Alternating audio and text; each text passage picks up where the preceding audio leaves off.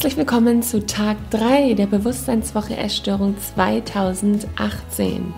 Ich freue mich sehr, heute ein wundervolles Interview mit Shirley Hartlage von Waage e.V. in Hamburg mit dir zu teilen. Shirley und ich haben uns zum ersten Mal persönlich in Hamburg kennengelernt bei einem Filmdreh, der jetzt Mitte des Jahres rauskommt. Darüber ähm, ja, gibt es auch auf jeden Fall noch mehr auf meinem Kanal. Doch heute gibt es erstmal ein Interview in dem es darum geht, was du überhaupt machen kannst, wenn du bemerkst, dass du eine Essstörung hast. Herzlich willkommen, liebe Shirley Hartlage von Waage e.V. in Hamburg. Ich freue mich sehr, dass du heute im Podcast Soul Food Journey mit dabei bist und den Hörerinnen und Hörern von Soul Food Journey einen Einblick in eine Beratungsstelle, wie ihr eine seid in Hamburg, geben kannst und geben möchtest und da einfach mal drüber erzählst in unserem Interview jetzt gleich. Herzlich willkommen. Hallo aus Hamburg. ja, moin, moin, ne? Moin, moin, genau, so sagt man hier. Ja, ich freue mich wirklich sehr, dass wir das äh, trotz meiner verpassten Bahn letzte Woche in Hamburg geschafft haben, einen Termin äh, direkt danach jetzt zu finden. Denn ich ja. bin unheimlich wichtig und wollte es auch nicht länger aufschieben, da mich wirklich regelmäßig, würde ich mittlerweile sagen, Nachrichten erreichen mit Fragen über, wo kann ich hingehen, wie läuft das ab, ähm, wo kann ich anrufen oder hast du irgendwelche Seiten, irgendwelche Links? Und dann dachte ich mir, Mensch, so eine Podcast-Folge mit einer Beratungsstelle direkt wäre einfach der Hammer, um da Aufklärung zu schaffen. Und dann kann ich zukünftig beispielsweise auch immer diesen Podcast erwähnen und die Folge teilen, damit die das Gespräch dann anhören können, um, ja, um, um sich von dir durch das Gespräch aufklären zu lassen. Deswegen finde ich das ganz, ganz toll, dass wir das heute machen. ja, super. Ich versuche einfach mal ganz viele Fragen äh, zu beantworten, weil das ist ja, ja. Eine der wichtigsten Fragen immer, was macht überhaupt so eine Beratungsstelle und ähm, das ist ja auch ähm, gut zu wissen, was bieten die an, was bieten die vielleicht auch nicht an. Mhm. Man kann natürlich viel im Internet auch recherchieren und so und trotzdem ist es aber auch gut, sich ja überhaupt beim Thema Essstörung in professionelle Hilfe zu begeben und meistens sind Beratungsstellen die ersten, zu denen Kontakt aufgenommen wird. Genau. Mhm, ja. Du hast schon gesagt, das ist so die erste Stelle, zu der oftmals Kontakt aufgenommen wird. Wie kann man, also wie kann sich das denn jetzt jemand vorstellen, der beispielsweise noch nie in einer Beratungsstelle war und auch noch gar nicht unbedingt darüber nachgedacht hat, sich an eine zu wenden? Wo, wo finde ich denn Beratungsstellen oder wie finde ich Beratungsstellen, die jetzt in meiner Nähe sind oder die in meinem Umkreis sind und wie ich die kontaktieren kann? Okay, also ähm, es gibt da ganz unterschiedliche Wege. Manchmal ist es ganz einfach äh, im Internet, äh, mach mal Werbung für Google gerade, äh, einzugeben Beratungsstelle Hamburg oder Beratungsstelle Berlin oder Beratungsstelle oder Beratung Essstörung München oder Frankfurt. Ähm, ja. Stadt einzugeben und Essstörung und dann findet man meistens schon sehr schnell äh, auch erste Hilfsangebote, weil die Beratungsstellen auch mittlerweile schon seit etlichen Jahren auch daran interessiert ist, sind, auch im Internet gefunden zu werden, weil das ist oft was, wo viele User unterwegs sind, die sich erstmal informieren, habe ich überhaupt eine Essstörung oder nicht. Es gibt auch so eine Seite von der Bundeszentrale für gesundheitliche Aufklärung, äh, wo man auch klicken kann oder Hungrig Online, wo es auch darum geht, den, die Postleitzahl einzugeben und zu schauen, wo kriege ich überhaupt Hilfe, ähm, auch persönliche Hilfe, aber auch vielleicht erstmal Online-Hilfe, hm, wenn ich betroffen bin oder Angehörige bin oder eine Fachfrau bin oder ein Fachmann und möchte was zu dem Thema erfahren. Also im Internet findet man sehr, sehr viel und ähm, bei uns ist es zum Beispiel so, wenn man eingibt Essstörung-onlineberatung.de, kommt man auf unsere vage Online-Seite. Mm, das ist ganz neu seit diesem Jahr, dass wir das geöffnet haben für Betroffene und Angehörige. Mhm. Vorher war das ein Portal bundesweit nur für Angehörige. Jetzt haben wir das geöffnet, weil wir auch ganz viele Anfragen von Betroffenen auch bekommen, äh, bundesweit in sogenannten Gebieten, wo keine Hilfe ist, also nicht vor mhm. Ort wo ich nicht einfach so hingehen kann und irgendwo klingeln kann und in so eine Beratungsstelle gehen kann, sondern wo vielleicht auch gar nichts ist, auf dem platten Land oder so. Ja. Ich habe gesagt, das ist so wichtig, im Internet präsent zu sein. Und da zum Beispiel ist es so, man kann das über unsere Internetseite waage.de, aber auch über essstörung-online.de kommt man rein und sieht, aha, das macht also alles vage. Dazu kann ich ja gleich noch was erzählen. Ja, ja die gucken, uh, wie, wie komme ich denn überhaupt an den Kontakt? Was machen die? Und dann mhm. schreiben die uns meistens eine Mail. Ich habe euch gefunden im Internet äh, und ich würde ganz gerne mal wissen, äh, wie das bei euch abläuft, so eine Beratung. Mhm. Äh, und dann schreiben wir zurück, auch relativ zeitnah. Wir haben immer so einen äh, Standard, dass wir innerhalb von drei Tagen auf jeden Fall auch antworten. Ah, cool. Auch keine blöden, ja, und es gibt auch keine blöden Fragen. Viele fragen auch, hallo, ich bin schon 58, ich bin äh, schon viel älter und eigentlich sind das ja eher die Jüngeren, die eine Essstörung haben. Darf ich mir überhaupt Hilfe suchen? Wo wir dann natürlich sagen, ja klar, also unsere älteste Klientin ist 84, also Essstörung oh. manchmal leider nicht auf oder hören, kommen auch wieder oder ja. ein Partner, der fragt, Mensch, meine Frau, ich glaube, der geht's nicht gut. Ich vermute, dass sie vielleicht eine Essstörung hat. Woran erkenne ich das? Wie kann ich die ansprechen? Äh, so, also ne, ja. erste, der, die erste Eintrittskarte ist meistens ähm, übers Internet oder vorwiegend. Also es ist immer mehr geworden in, letzter, in den letzten Jahren. Mhm, das glaube ich weil es auch so leicht ist, einfach mal zu schreiben. Und das ist auch so toll, weil man kann über, wir haben richtig so ein Portal, wo man auch äh, mit SSL-Verschlüsselung, also auch mit einem sicheren System äh, mhm. äh, schreiben kann, auch länger Kontakt halten kann. Man kann sich anonym anmelden. Äh, und das ist ja gerade das Tolle bei Essstörungen, dass man auch anonyme Hilfe finden kann.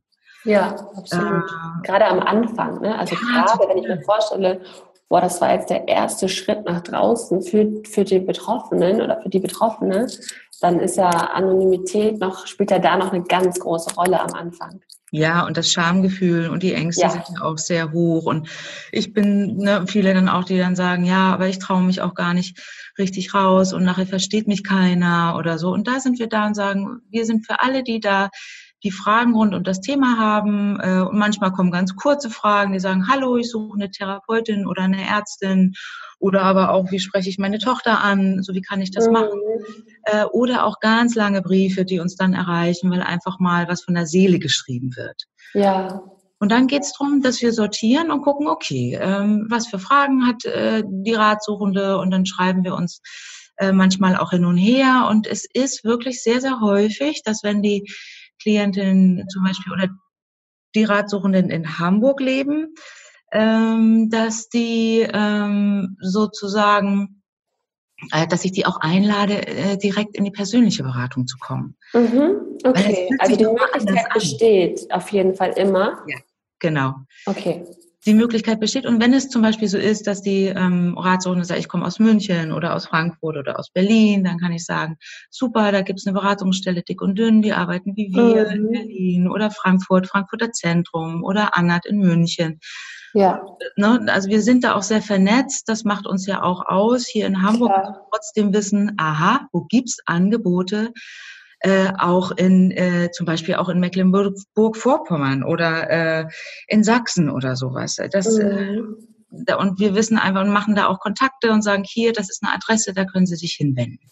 Ja, ja, das ist, was, was, das ist ja. ja allein schon Gold wert. Ne? Allein wenn ich, wenn ich eine ja eine per persönliche Empfehlung beziehungsweise Weiterleitung zu einer Stelle bekomme, die dann bei mir in der Nähe ist, weil ich sie vielleicht selber auf Anhieb dann nicht gefunden habe oder ähnliches, allein deswegen ist es ja schon so gut, doch in einen Kontakt zu treten mit einer Beratungsstelle, um da, weil du halt in jeder Form oder in jeglicher Art und Weise auf jeden Fall eine Unterstützung bekommst.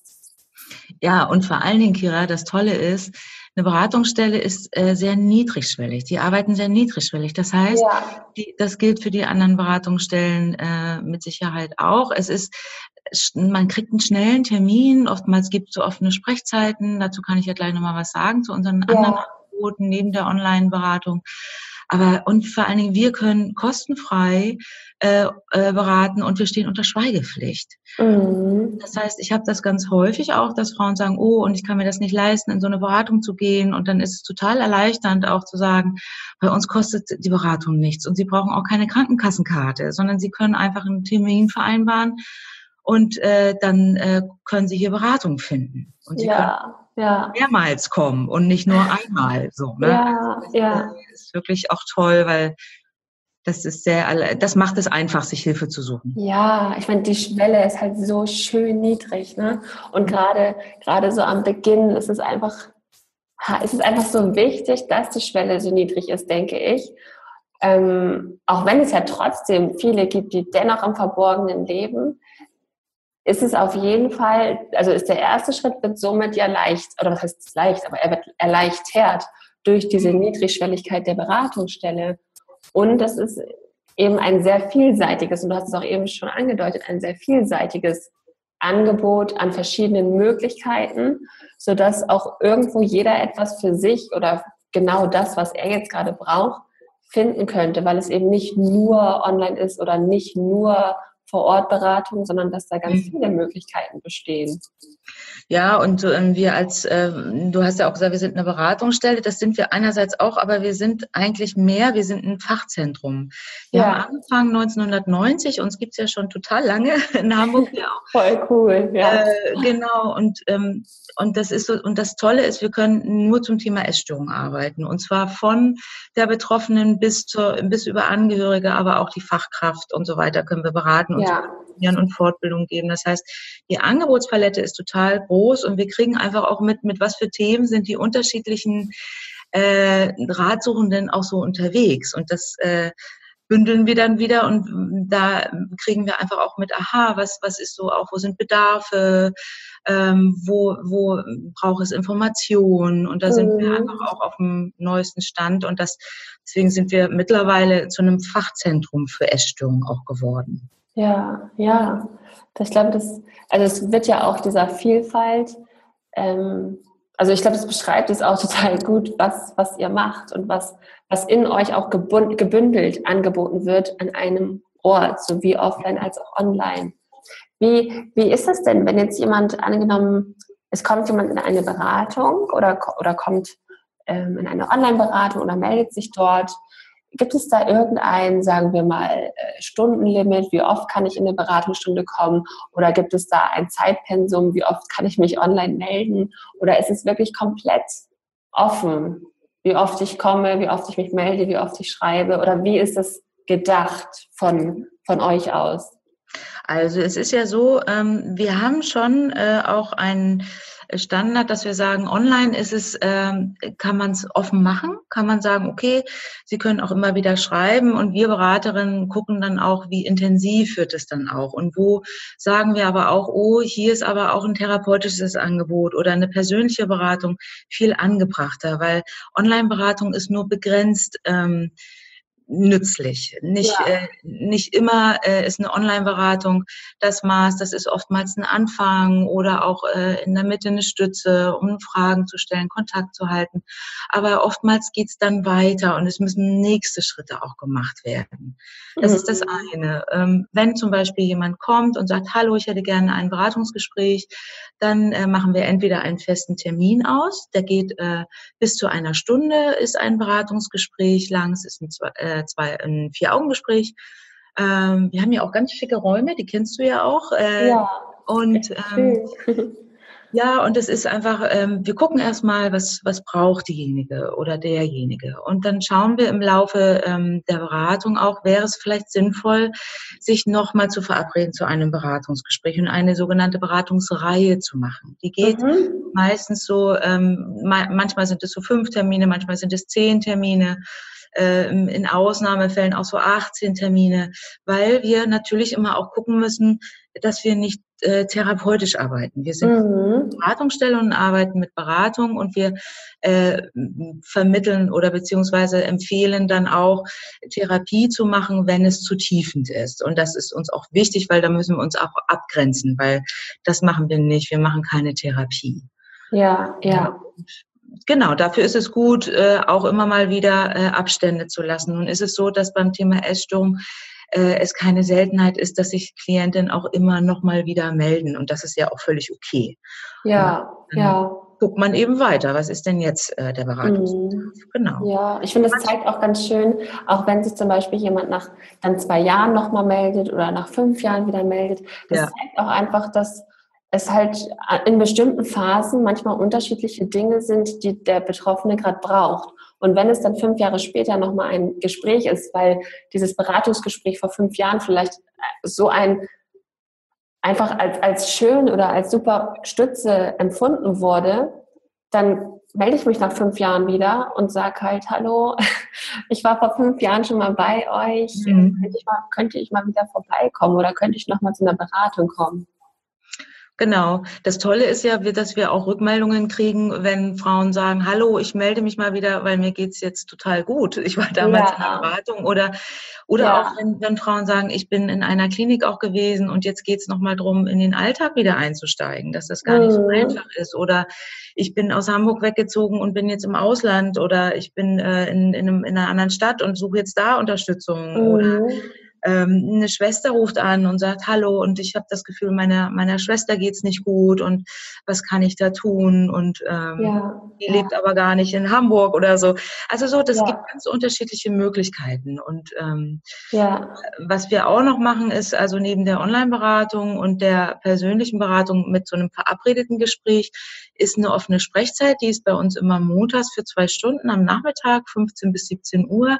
Das ist manchmal auch total gut, weil es manchmal so ist, dass hier, wir sind ja hier mitten in einer, in einer Schanze, aber auch ganz versteckt. Das heißt, mhm. ganz groß drauf, Fachzentrum für Essstörungen, sondern man geht wie in eine Art Wohnhaus mhm. äh, und kann so ein bisschen anonymer hier auch reingehen. Ja. Äh, und es ist manchmal viel leichter zu sagen, oh, ich habe heute früher Schluss, ich glaube, ich gehe mal kurz in die offene Sprechzeit, weil jetzt habe ich den Mut, jetzt merke ich wieder, ich komme mit, äh, ich bin angesprochen worden äh, von meinen Kollegen vielleicht auch, Mensch, du hast mhm. abgenommen oder äh, geht's dir nicht gut oder so. Und äh, jetzt fasse ich den Mut und gehe mal in die spontane Beratung. Und da gibt's halt eine offene ja. Sprechzeit, wo einfach alle kommen können und sagen, ich brauche jetzt mal kurz ein Gespräch. Mhm. Ja, Voll gut. Und das mit den Räumlichkeiten kann ich auch nur, nur bestätigen. Also wenn, wenn ich euch oder als ich euch besucht habe, da hat sich das auch ja, angefühlt wie eine Freundin in der Wohnung besuchen.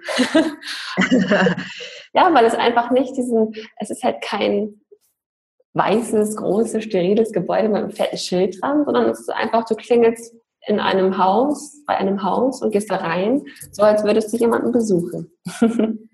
Genau, und das, das ist halt, wir haben halt eine gute Mischung zwischen, es ist nicht medizinisch, aber es ist trotzdem professionell Beratung Absolut. und es ist trotzdem freundlich so. Also genau, so, genau.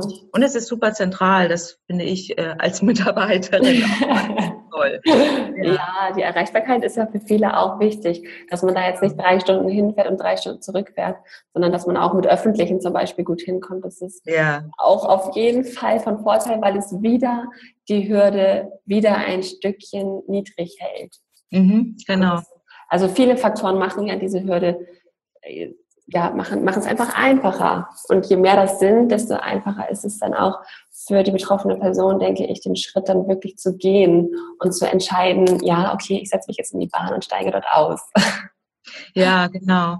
Und wenn die, wenn die Frauen dann hier sitzen, also wir beraten ja überwiegend Frauen mit einer Essstörung, Männer können gerne in die offene Sprechzeit kommen oder auch in die Online-Beratung, aber bisher beraten wir betroffene Frauen, Angehörige und Fachkräfte. Mhm. Ähm, und es ist schon so, dass die Frauen auch selber sagen, ich hatte totale Angst, hierher zu kommen, weil ich überhaupt nicht wusste, was mich erwartet. Ja. Vielleicht werden sie gewogen oder so, das werden sie ja gar nicht.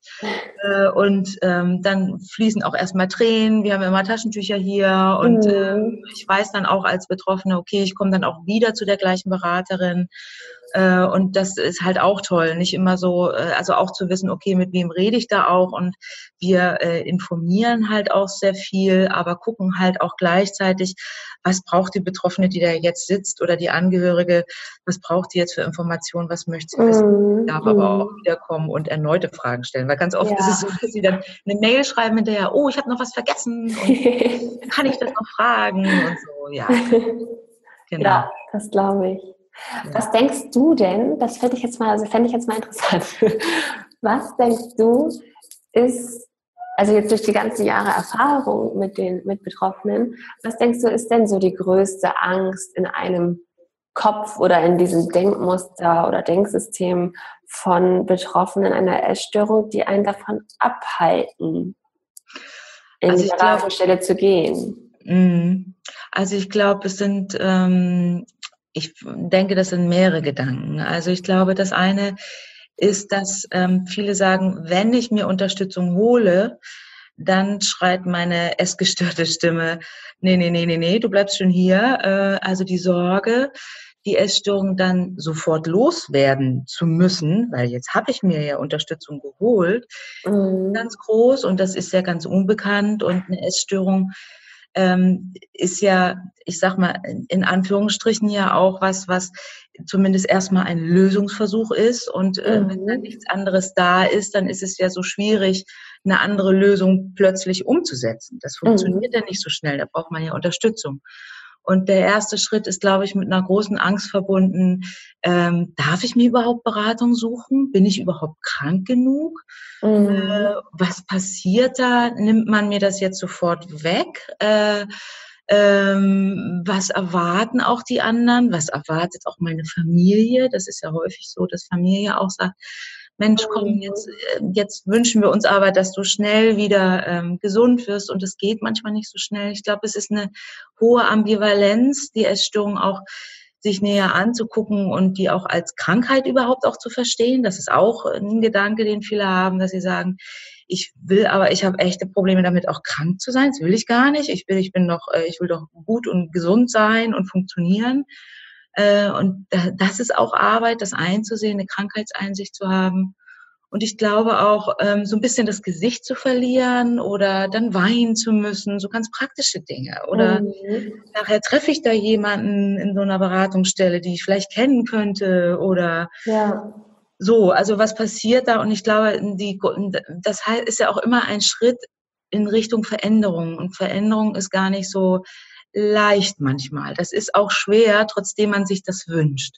Und deswegen ist es gut, das auch zu besprechen. Und das ist das Tolle an Beratung, dass wir nämlich hier sitzen und genau das auch zum Thema machen. Was können die nächsten Schritte sein und welche vielleicht auch nicht? Und was macht es so schwer, die Schritte auch zu machen? Mhm. Wir äh, zwingen ja jetzt keine Frau sozusagen, äh, sich Therapie zu suchen. Das macht sie ja selber. Ja. Aber wir können gucken, wie kann sie sich das leichter machen, zum Beispiel. Mhm, mhm. Ich, ich, glaube, so, so, so eine Mischung ist es.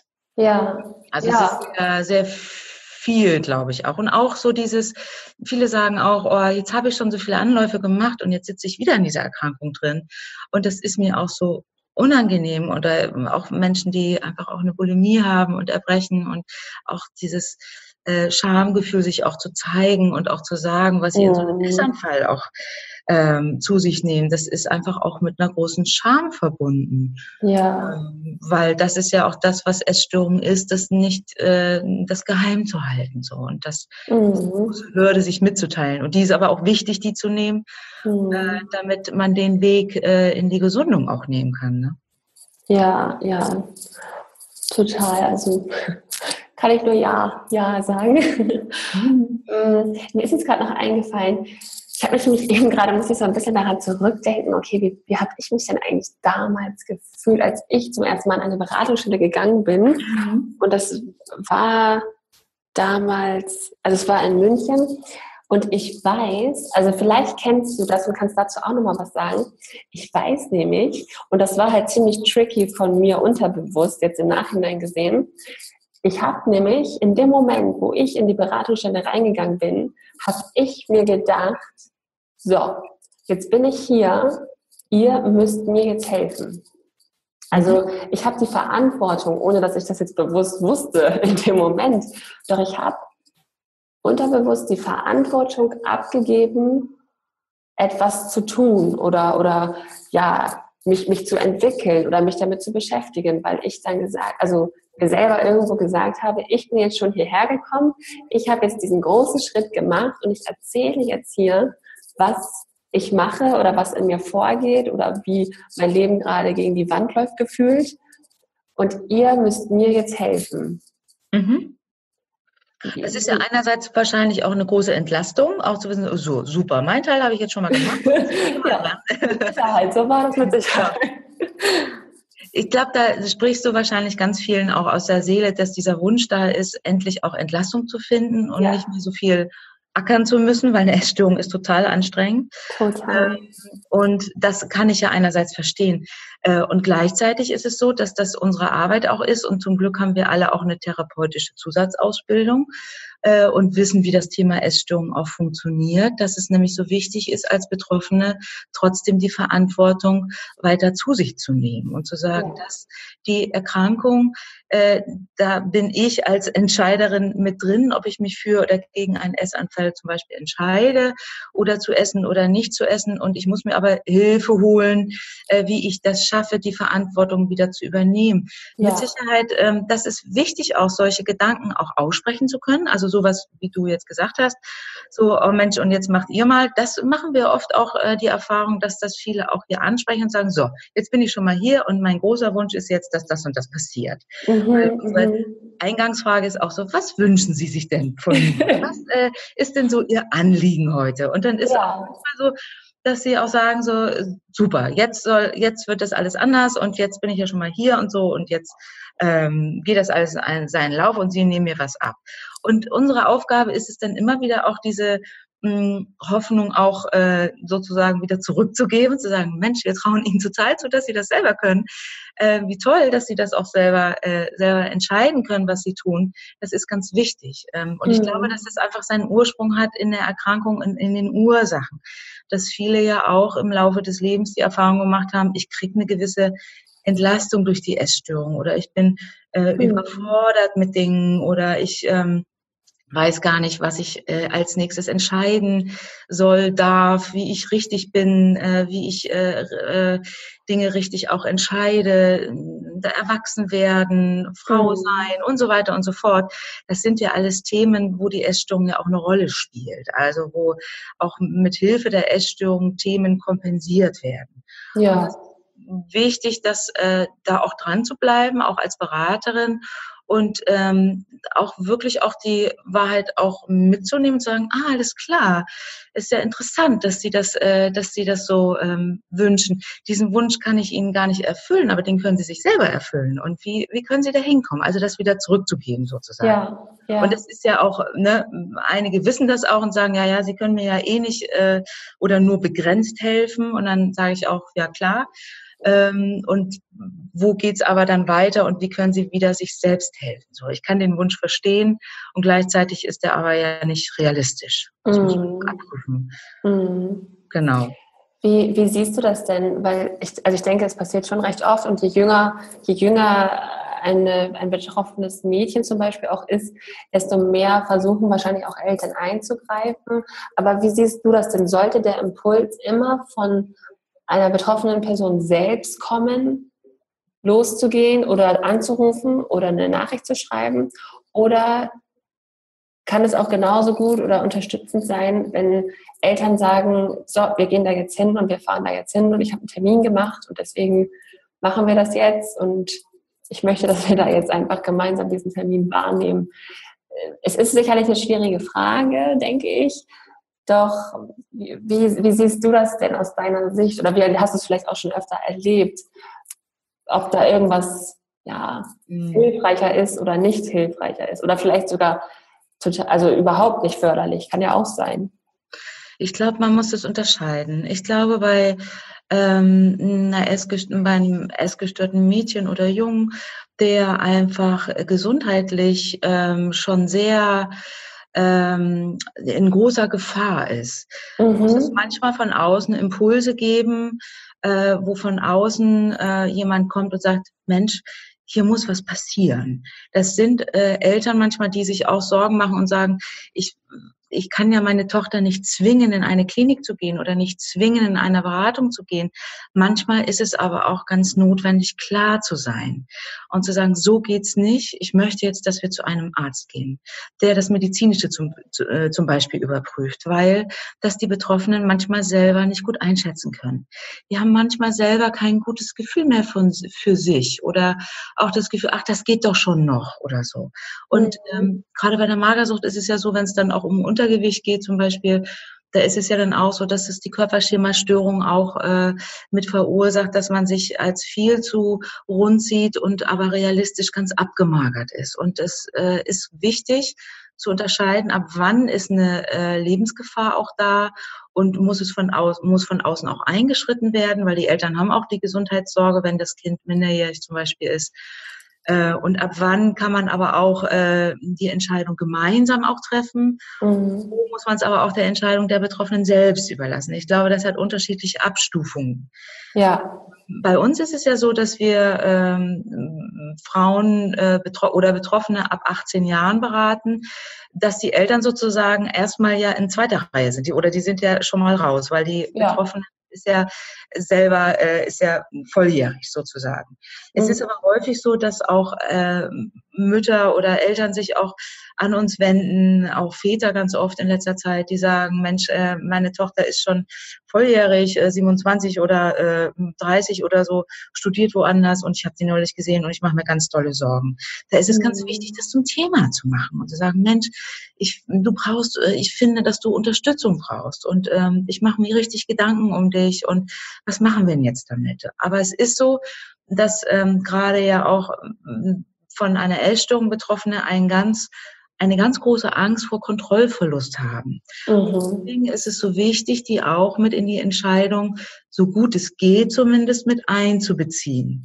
Äh, ja. Und auch sagen, okay, also das meiner Meinung nach wäre das jetzt so und so, oder ich, mein Wunsch wäre, dass du in eine Beratungsstelle vielleicht gehen könntest. Und dann kann es sein, dass die Betroffene vielleicht sagt, so, ja, aber ich traue mich nicht. Und dann kann man aber gucken, okay, woran liegt es denn? Könntest du vielleicht eine Mail schreiben? Na gut, eine Mail würde gehen, aber ich will nicht persönlich dahin. So. Mhm. Das können so kleine Schritte sein. Aber ich glaube, es ist gut, im Kontakt zu sein und auch klar zu sein, auch als Arbeitgeber zum Beispiel, und auch zu sagen, ich finde, ähm, ich brauche einen Attest von einem Arzt, weil ich ähm, finde, dass sie nicht arbeitsfähig sind. Mhm. das ist ja auch schwierig für eine Betroffene zum Beispiel. Das ist, gibt ja ganz viel Halt, einen Job oder ein Studium oder so. Aber wir machen oft die Erfahrung, dass die Betroffenen hier sitzen und sagen, naja, es hat aber ja auch niemand mich drauf angesprochen. Mhm. Und, ähm, ja. und dann dachte ich, das geht doch schon noch. Oder äh, ich will ja niemandem zur Last fallen. Oder ich möchte ja, ja niemandem Sorgen bereiten. Aber es ist, ich glaube, man muss es unterscheiden, Kira. Ähm, ich glaube, dass es Fälle gibt, wo es ganz wichtig ist, dass man äh, was tut und das so schnell wie möglich und auch sagt, so, also wenn du jetzt auf der Straße liegen würdest und hättest einen Unfall, dann würde ich auch einen Krankenwagen rufen. Natürlich, ja. Äh, und es ist eine Erkrankung, die kann, da kann man sich nicht, da kann man sich so schlecht selber heilen. Ähm, und dann gibt's aber wieder Frauen, die sozusagen auch Zeit brauchen, sich in die Beratungsstelle zum Beispiel zu begeben. Und da kann man vielleicht auch ein bisschen mit Zeit mehr arbeiten. Das kommt immer auf den Gesundheitszustand drauf an. Und ja. auch auf den seelischen Zustand. Ne? Also wie ja. zweifelt ist die Frau auch, gibt es Depressionen, suizidale Gedanken und so weiter. Mhm. Also das geht ja dann noch weiter, das Thema. Das muss man unterscheiden. Und das ist auch witzigerweise oder interessanterweise ist das oft ein Thema hier. Wenn Eltern kommen oder Lehrer oder ähm, auch äh, WG-Partnerinnen und so, die sagen, wann können wir denn eingreifen oder wie können wir eingreifen? Ja. Das ist eine Frage an Beratungsstellen. Mhm. Ja, auch total wichtig, dass du das sagst, weil ich denke, dass, ja, dass es ganz viele Menschen gibt, die in irgendeiner, selbst wenn sie nicht selbst betroffen sind, aber dass sie in irgendeiner Berührung mit dem Thema Essstörung durch Freunde, Bekannte, Familienmitglieder, wie auch immer, dass da ganz viele mit in Berührung kommen und da Fragen haben und dann oftmals auch nicht so genau wissen, hm, okay, was mache ich jetzt? Gucke ich jetzt zu oder ähm, was kann ich hier tun? Kann ich hier was tun? Ich glaube, das sind ganz, ganz viele, die sich diese Fragen stellen. Also deswegen fand ich es auch wichtig, dass, dass, dass du das gerade noch erwähnt hast, dass auch die andere, also dass auch die sich an euch wenden können und da einfach mal diese Frage rauslassen können um auch da mit jemandem zu sprechen. Ja, und als Angehörige, ähm, da ist man einfach auch manchmal sehr hilflos, weil mhm. man merkt irgendwie, ich würde so gerne was tun und die Betroffene braucht aber und dann, ja, habe ich einen Termin gemacht, den doch wieder abgesagt und so. Also das braucht manchmal mehrere Anläufe. Man braucht häufig einen langen Atem, mhm. wenn es um das Thema Essstörung geht. Ähm, weil das manchmal einfach auch ein längerer Prozess ist. Und ähm, das, da braucht man auch einen Atem als Angehörige. Wir haben äh, hier auch ja für Angehörigen äh, ganz viele Angebote auch, sei es ein Angehörigen-Workshop, aber auch wir haben auch ein tolles Angebot, ähm, Surf and Scout heißt das. Das machen zwei Kolleginnen von mir. Ähm, das ist toll. Da kann sich zum Beispiel eine Betroffene ähm, die hier in Beratung ist und sagt, hallo, ich bin, äh, ich brauche irgendwie Unterstützung äh, und ich würde mir aber auch von meinem Umfeld Unterstützung wünschen, mhm. haben wir ein ganz tolles Programm äh, mit der Elisabeth Rau äh, von Bad Staffelstein, Klinik Bad Staffelstein, äh, äh, erarbeitet oder die hat uns das sozusagen, hat uns da fortgebildet, das heißt Surf and Scout. Da geht es darum, dass eine Betroffene in die Beratung kommt und sich Angehörige, also Menschen in ihrem Umfeld, die ihr gut tun, wünschen darf, äh, die sie begleiten. Und diese. Angehörigen werden dann in einem Seminar von uns, in einem Workshop geschult und werden auch weiterhin begleitet, sodass es sozusagen ja. ein Unterstützersystem gibt, wo man gemeinsam arbeitet. Im eigenen Umfeld, ne? Richtig, genau. Und das kann vielleicht für die eine die Nachbarin sein, für die andere kann das die Schwester sein oder der ja. Partner oder die Eltern oder auch nicht die Eltern, also total unterschiedlich so. Aber mhm. der Impuls, das Entscheiden, wen wünsche ich mir, äh, die näher an mich ranrückt und mich unterstützen darf, äh, das macht die Betroffene selber und die, ähm, der Mensch, der unterstützt sozusagen, der guckt auch und was könnte ich tun und wo ist aber auch meine Grenze. Das erfahren die dann auch in diesem Workshop. Mhm. Ja, das ist echt richtig cool. Also das ist echt richtig toll. Ja. Ja. Also wir versuchen auch immer so zu gucken, wo sind die Bedarfe und mhm, was braucht es auch neu und ähm, ja. das gucken, was erreicht auch die Betroffenen und so. Und die versuchen ja auch ganz viel. Also es gibt so viele, die sagen so, oh Mensch, ich habe schon so viel probiert und irgendwie gibt es dann immer noch Momente, wo es mir schwerfällt. Und da mhm. ist es so wichtig zu sagen, und es ist immer wieder wichtig, sich dann auch ein Gespräch zu suchen. Ne? Ja, ja.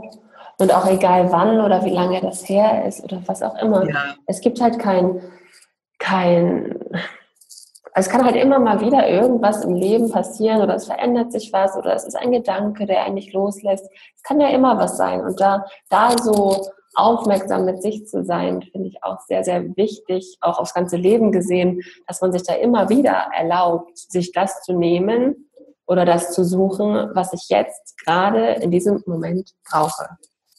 Ja, und das ist manchmal gar nicht so einfach, das von sich aus alleine zu schaffen, weil man oh. selber halt äh, dann vielleicht auch in Gedankengängen drin ist, die die es so schwer machen, so einen, so einen Blick von außen äh, zuzulassen. Oh. Es ist wirklich gut, das wirklich auch mit jemandem zusammen zu besprechen und zu gucken, okay, und was habe ich schon gelernt, was kann ich wieder anwenden, wo sind meine Ressourcen, weil äh, man, äh, es gibt ja noch ganz viele gesunde Anteile, bei den einen manchmal sichtbarer, bei den anderen manchmal unsichtbarer. Und da ist es wichtig zu gucken, okay, wie komme ich wieder an diese Teile ran, damit ich wieder handlungsfähig werde und mich wieder wieder neu auf den Weg begebe, weil viele haben ja auch gute Erfahrungen da schon mitgemacht, dass sie sich vielleicht auch eine Zeit von verabschiedet haben. So, ne? Und es gibt, wie ja. du auch sagst, gibt immer wieder Krisen im Leben, wo man emotional so durchgeschüttelt ist, dass sich das Symptom immer mal wieder meldet. Das ist von vielen so, die sagen, ach Mensch, ich habe es eigentlich auch schon geschafft. Äh, aber irgendwie äh, ist die Essstörung als Gedanke zumindest manchmal immer noch da, aber ich kann trotzdem, äh, ich weiß dann, was ich tun muss. Ich muss mir dann Unterstützung holen und ich muss das Symptom nicht ausleben, aber es erinnert mich dran, dass, da, dass ich das mal genutzt habe, sozusagen. Mhm. Ja, absolut. Mhm. Ich habe, also während, während du eben auch erzählt hast, ist mir noch in den Sinn gekommen, dass, und ich glaube, die Frage wurde mir sogar schon mal irgendwann gestellt, wie das, also wie quasi der Übergang ist von Beratungsstelle in Möglichkeiten von Therapieverfahren mit äh, Verhaltenstherapeuten oder Psychologen. Ist da eine enge Zusammenarbeit? Findet da eine Vermittlung statt oder wie, wie findet dieser Übergang statt, wenn der, wenn der erwünscht ist oder wenn er sogar notwendig ist? Wie funktioniert das? Also es ist äh, schon so, dass wir gut vernetzt sind. Wir sind da bundesweit vernetzt durch den Bundesverband Essstörung und wissen, welche Einrichtung arbeitet vielleicht auch äh, mit Therapeuten, zum Beispiel im Raum München äh, mhm. zusammen. Und dann würde ich zum Beispiel auch immer an eine andere Beratungsstelle dann da vermitteln, weil die immer vor Ort auch wissen, aha, wo gibt es hier entsprechende Stellen, auch von Ernährungsberaterinnen und so. Da haben die ja viel besser viel besser im Blick, wer hat vielleicht auch gerade freie Kapazitäten oder so. Und Klar. würde ich immer an eine Beratungsstelle auch anbinden, weiterleiten. So, äh, wenn es hier um Hamburg geht, äh, in Hamburg äh, geht, dann ist es so, dass ich zum Beispiel, wenn eine Frau sagt, ich suche eine Klinik ähm, zum Thema Essstörung, dass ich sie darüber informiere, was es für Kliniken vielleicht auch gibt. Ich gucke, versuche mit ihr zusammen rauszufinden, welche Klinik vielleicht ähm, sie bevorzugen würde und würde dann äh, ein paar Adressen ihr zur Verfügung stellen, also auch Broschüre mitgeben, wo sie mal anfängt zu gucken, welche Klinik würde vielleicht für mich äh, ähm, in Frage kommen? Wie sind die Wartezeiten oder ähm, mhm. wie ist die, wie sind die Aufnahmebedingungen und so weiter, dass sie das sozusagen selber dann auch wieder recherchiert. Also ich gucke schon, okay, hier gebe ich die Adressen und hier können sie weitergehen und können das und das recherchieren. Welche Fragen, welche Ängste, welche Befürchtungen gibt es? Das kläre ich mit ihr in der Beratung und dann würde ich mich zum Beispiel auch wieder mit ihr treffen. Und mhm. dann kann ich mit ihr besprechen, und haben Sie denn angerufen? Äh, nee, habe ich nicht. Okay, woran lag's denn? Oder was war mhm. denn so mhm. schwierig und so weiter? Nee, ich dachte, es geht schon wieder und so. Aber jetzt denke ich schon wieder, nee, es muss Klinik sein oder wie auch immer. Ne? Ja. Die haben so lange Wartezeiten und, und so weiter und so fort.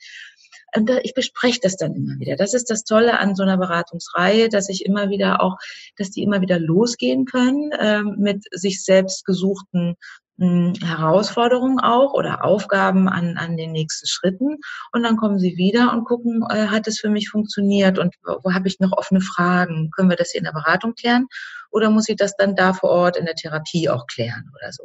Mhm. Ähm, was so Ärzte betrifft, da ist es auch so, dass das ist immer ja wichtig, auch ein medizinisches Netz zu haben, in, in das man auch aufgefangen wird oder ist. Ähm, und da haben wir auch Adressen. Wir haben Adressen von Ernährungsberaterinnen, von Ärztinnen, wir haben auch Adressen von Therapeutinnen, wo wir schon auch äh, sagen, da können Sie äh, weiter fragen, ob die freie Kapazitäten haben. Das heißt, wir haben so ein Adressspektrum. Äh, wenn es um Klinik geht, haben wir da auch nochmal Kontakte, wo wir auch vielleicht über kurze Wege nochmal klären können. Kann ich vielleicht vor Ort nochmal klären, wie schnell sind die Aufnahmemodalitäten oder so. Ich kann manchmal auch was schreiben, wenn ich finde, dass eine Frau das toll macht und es eine gute Entscheidung wäre, in die Klinik zu gehen, dass ich vielleicht für die Rentenversicherung oder für die Krankenkasse auch ein Schreiben mit aufsetze so, aber das ist sozusagen auch sehr niedrigschwellig. Ich würde jetzt keinen Riesenbericht schreiben oder so, aber schon, dass ich das befürworte. Ja, ja. Und so. Oder ich weiß einfach durch den Fachausschuss, den wir ja hier auch haben, wüsste ich auch, ah, okay, und da ist jetzt eine Gruppe oder da äh, findet zum mhm. Beispiel die Kollegin äh, hier von Smoothie, die haben gerade auch eine Elterngruppe, dann weiß ich, Mensch, die Frau sucht hier für einen, sucht Kontakt zu anderen Eltern, dann kann ich sagen, ah, ich habe gestern gerade gehört, irgendwie die haben noch freie Kapazitäten, melden Sie sich da, dann gebe ich die Adresse weiter so. Ja, ja. Ja, es ist, also es ist auf jeden Fall ein, ein Netz im Hintergrund, das da ja. auch als Unterstützung dann verwendet werden kann oder mit eingebracht werden kann in die weitere Begleitung bis hin zum eventuell Therapieplatz oder Klinikaufenthalt. Mhm. Ja, und Kira, manchmal sind es ja auch ganz andere Themen. Ne? Manchmal ist es mhm. auch so, dass eine Frau sagt, ich bin von Gewalt bedroht oder so, oder ich habe eine, einen Missbrauch oder eine Vergewaltigung erlebt oder so. Dann geht es auch nochmal darum, äh, Kollegen mit einzubinden, beziehungsweise auch zu sagen, Mensch, ich kenne eine gute Beratungsstelle zum Thema sexuellen Missbrauch. Mhm. So, oder wenn es um das Thema Schwangerschaft auch geht, ne? zu wissen, Mensch, hier um die Ecke gibt es ein Fachzentrum, die arbeiten damit, da haben wir gute Kontakte und Erfahrungen auch damit. Die haben auch Erfahrungen mit dem Thema Essstörung. Mhm. Also auch zu gucken, was ist noch in dem Leben der Betroffenen so los? Wo brauchen die noch Unterstützung?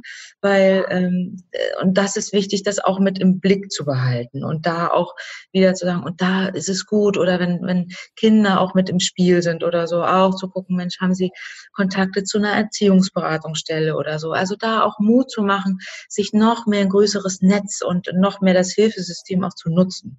Ja, ja. Und ich, also ich glaube, dass es auch vielen, mm, ich glaube, dass es bei vielen manchmal, also dass da schon manchmal eine Blockade da ist in diesem Unterstützung holen, also sich Unterstützung nehmen oder mhm. dass, dass, dass man sich diese Unterstützung auch selbst erlaubt, ist, glaube ich, auch oftmals so ein, ja, eine ganz große Blockade, die, die natürlich selbst erschaffen ist. Denn alles andere wird, wie du das beschreibst, ja schon so einfach und, und auch breit und vielseitig wie möglich gestaltet.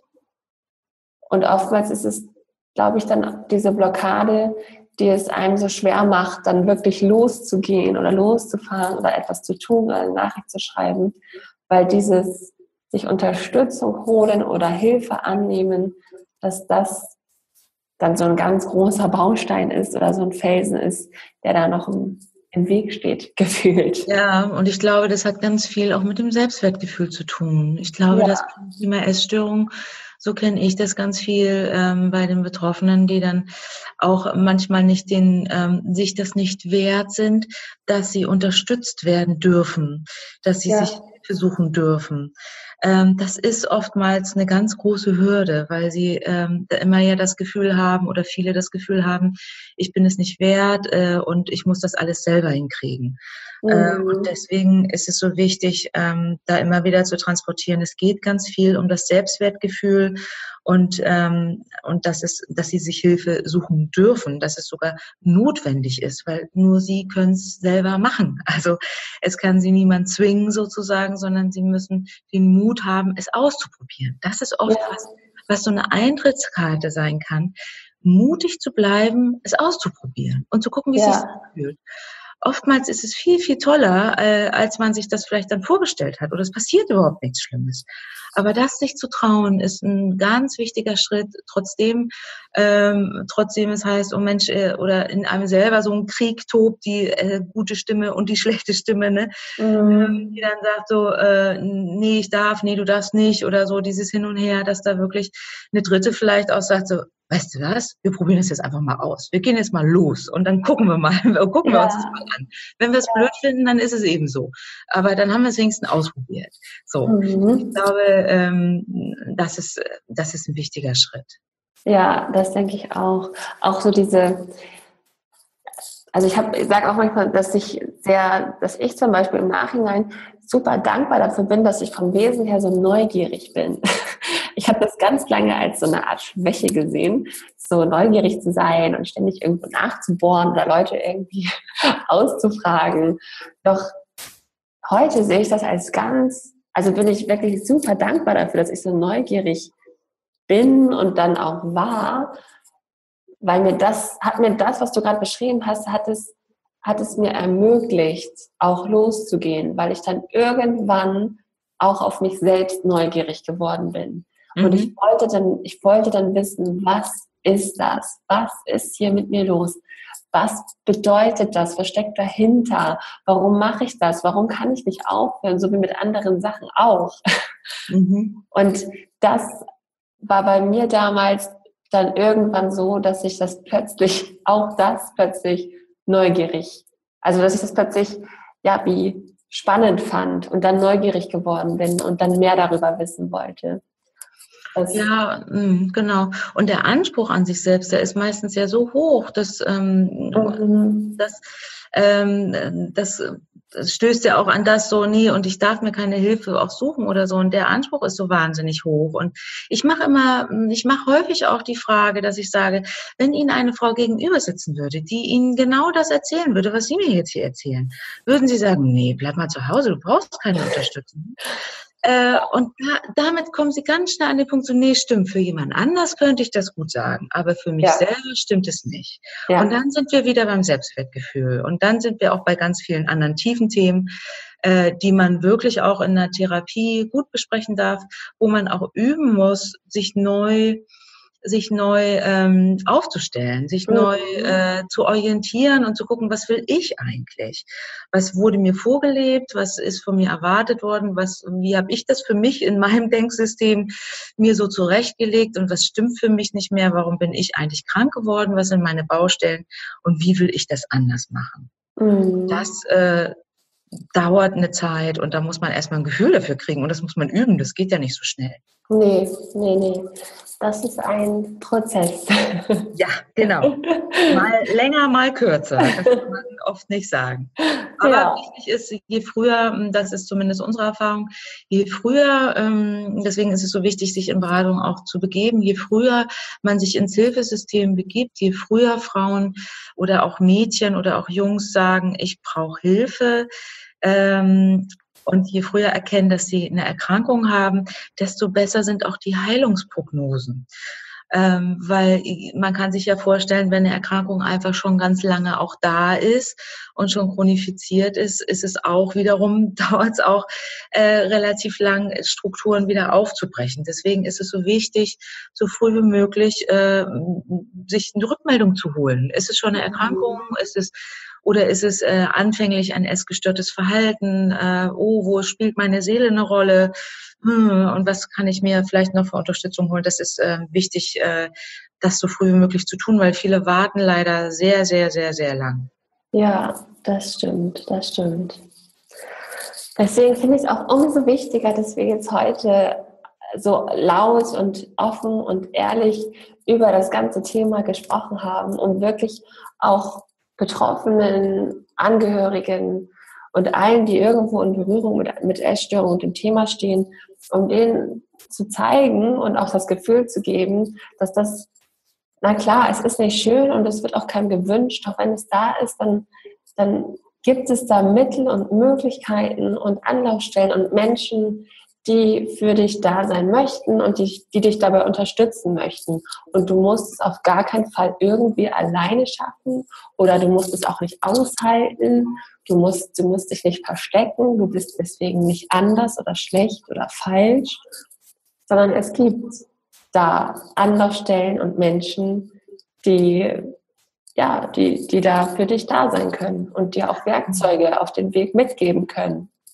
Ja, wir, also das, das ist was ganz Wichtiges, was du auch sagst. Wir haben zum Beispiel auch um, um mehr einzuladen und das mehr so, ähm, so äh, wie soll ich sagen, mehr so das Essstörung und dieses, ich suche mir Hilfe und wie suchen andere sich Hilfe, bin ich eigentlich die Einzige, die äh, mit dem Thema unterwegs bin.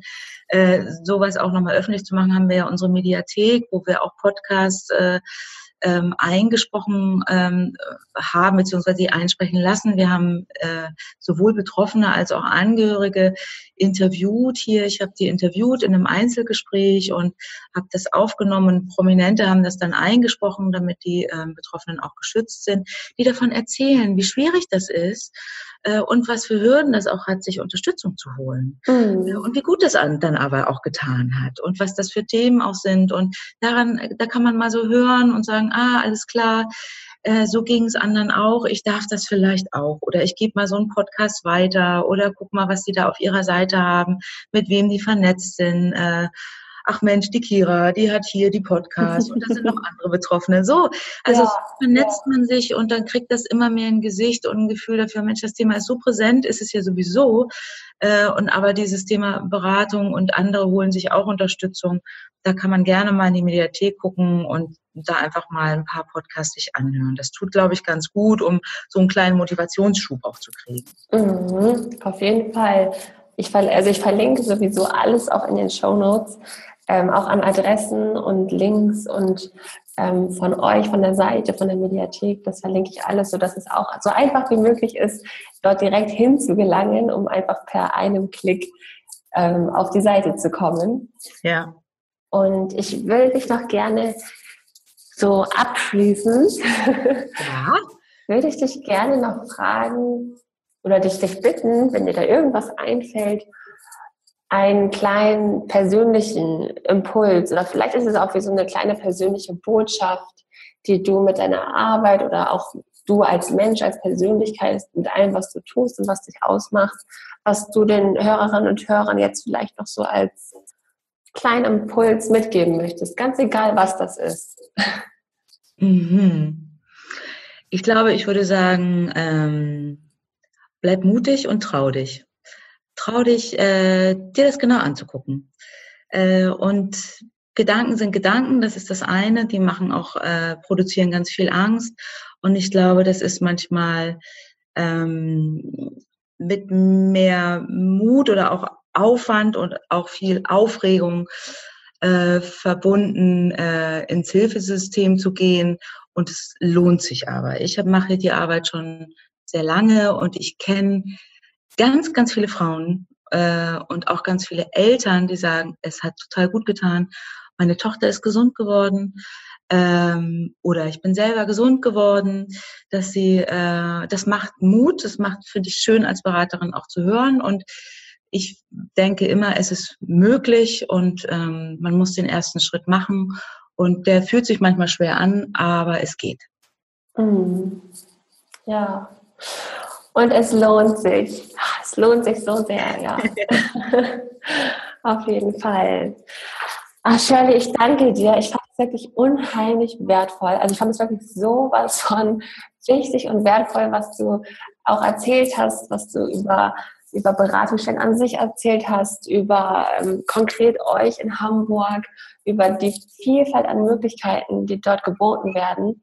Und also ich glaube, dass, dass diese Folge ganz vielen in der Hinsicht auch einfach schon so eine Portion Mut und Motivation mitgeben wird, da egal in welche Richtung für sich loszugehen, weil es sich tatsächlich lohnt, da auch weiterzugehen.